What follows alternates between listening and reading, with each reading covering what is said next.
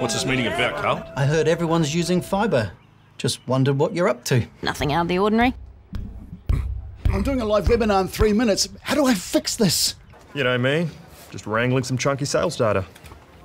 I'm getting owned by some guy named Devil Rage 23. I'm learning today on I'm auctioning my pants. Watching the footy. Well, New Zealand runs on fibre, eh?